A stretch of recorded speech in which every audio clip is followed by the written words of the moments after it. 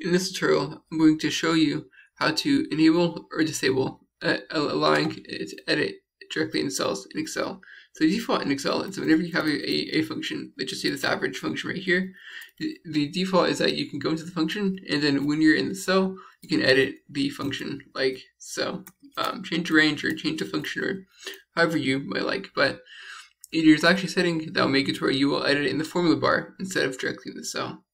So to do this, go to File, Options, Advanced, which is like towards the middle. Then uh, under editing options at the top, there's going to be um, a checkbox a, a little bit down that says allow editing directly in cells. You can un uncheck that. Click OK.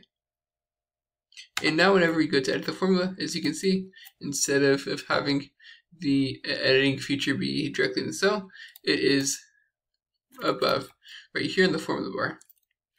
And this is very useful um, because sometimes if you have a an Excel sheet that has a lot of like really long functions, it can get really really crowded. So so so by going into Excel to going into a cell, you will like cover up other cells, which can make reading and using Excel sheet a little more difficult.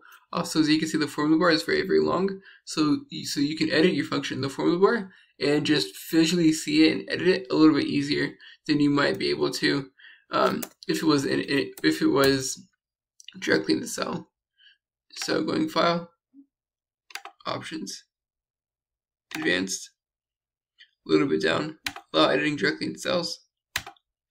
And as you can see, um, I mean, even the short sum function, whenever you're editing directly in the cell, covers up the total column to the left. And it's going back, File, Options, Advanced, scroll a few down, editing directly in cells. Um, if we're editing, if we if we just allow editing directly in cells, the, the total column isn't covered up anymore by even just a short function. Listen, I hope you found this tutorial to be helpful. I hope it makes editing um, Excel functions a little bit easier. And like, subscribe, comment. Thank you for watching. Have a great day.